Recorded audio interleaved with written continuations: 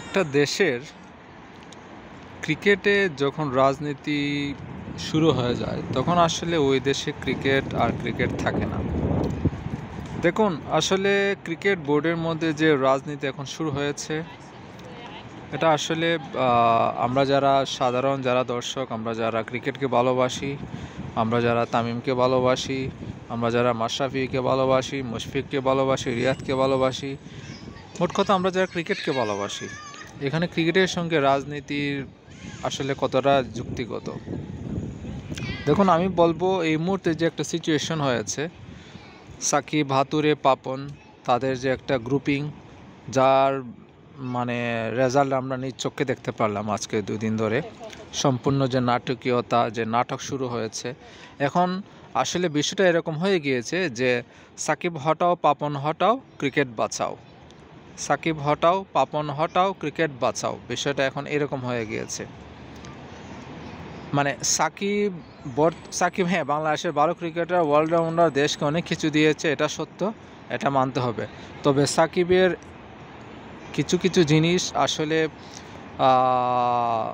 সবারই অজানা, আবার সবাই জানেন যে তার যে রাজনীতি এখন শুরু হয়েছে, বিভিন্নভাবে, তার যে সিন্ডিকেট তার মাগুরা সিন্ডিকেট ক্রিকেট নিয়ে সিন্ডিকেট দেখুন, আজকে এই যে তামিমকে বাদ দেওয়া হলো, বলা হলো, সাকিব উনি থাকবে না। তামিম থাকলে উনি থাকবে না।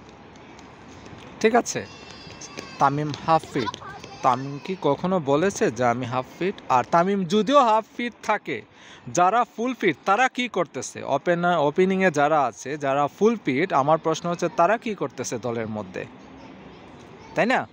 তো হাফিজ তামিমকে কি দলে রাখা যেত না? তাকে কি মানে কি বলে, বিশ্বকাপ স্কোয়াডে কি রাখলে খুব বড় ক্ষতি হয়ে যেত বিসিবির? খুব বড় ক্ষতি হতো সাকিব আল হাসানের, হাতুরু সিংহের? না। খুব বড় ক্ষতি হতো না। কিন্তু কথা হচ্ছে, বিষয়টা হচ্ছে সাকিব আল হাসান, উনি চাচ্ছেন উনি ক্রিকেটে এখন রাজত্ব করতেন।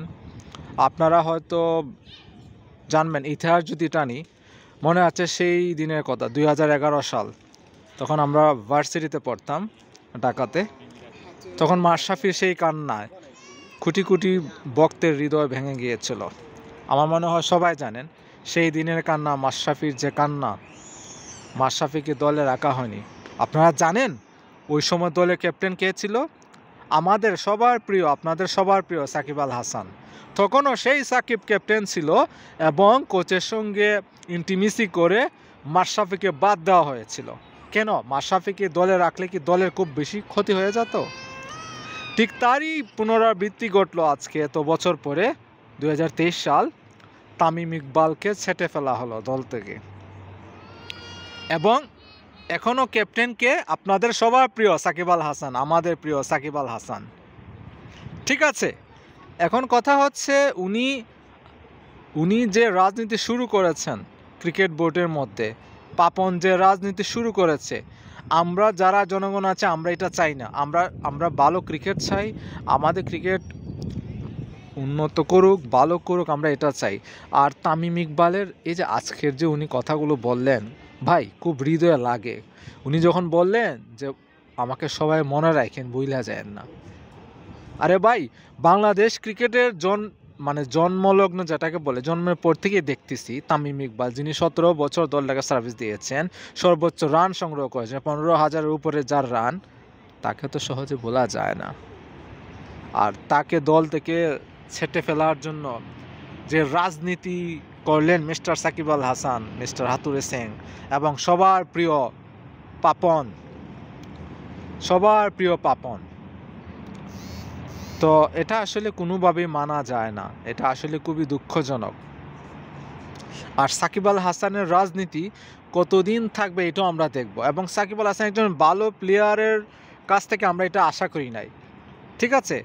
যদি এটা না হয় অনেক কিছু আছে সাকিব আল হাসানকে নিয়ে। কিন্তু এগুলা বললে কি হয়? আমাদেরই ক্ষতি, আমাদের ক্রিকেটের জন্য ক্ষতি। উনি কি করেন? উনি একজন খুনি আসামির শোরুম উদ্বোধন করতে দুবাই যান। উনি কতটা ভালো মানুষ। উনি উনি আর আসলে এত কিছু বলতে চাইতেছি না এখন। কথা হচ্ছে তামিমের জন্য খুবই কষ্ট লাগতেছে। আজকে দেখেন তামিম ইকবাল খান, নাফিস ইকবাল খান একসঙ্গে দল থেকে বের হয়ে গেলেন। এটা আসলে খুবই দুঃখজনক আমাদের জন্য। খুবই খারাপ লাগে ভাই।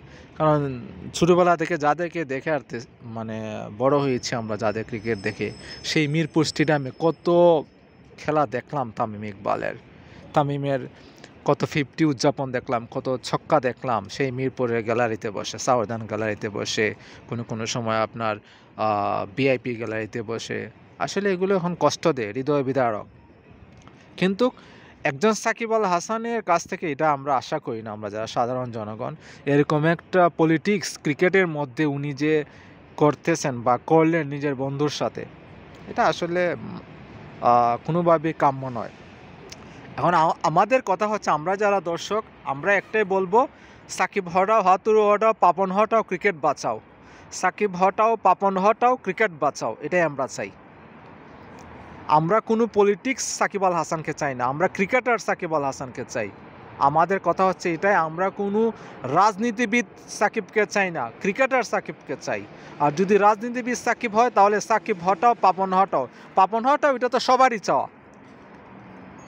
আর বিসিবিতে যে রাজনীতি চলতেছে, যে পরিচালকরা রাজনীতি করতেছেন তাদেরকে হটানো উচিত। এখন দেখুন, আমরা যারা সাধারণ দর্শক, আমাদের অন্তরে লাগে ভাই, ক্রিকেটটা তো ওই বিসিবির পাপনের না, আর সাকিবের না হাতুরে সিংহের না।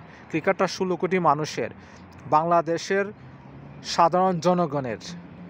সো চাইলেই আপনারা এখানে রাজনীতি করবেন, যাকে মন বাদ দিবেন, আপনাদের সুবিধা মতো লোক নেবেন, তা তো হয় না। তো আসলে এটা শেষটা ভালো হবে না। এই যে বাংলাদেশ ক্রিকেট দলে গেল, সাকিব কতটা ও যে কতটা মানে সুবিধাবাদী আপনারা চিন্তা করেন। ক্রিকেটার সবাই এয়ারপোর্টে ও ওর বিজ্ঞাপনের শুটিং নিয়ে ব্যস্ত, ও দশ পনেরো মিনিট আগে আসছে যাওয়ার জন্য। তাহলে আপনারা এটাই বুঝেন, ও কতটা ক্রিকেটকে ভালোবাসে।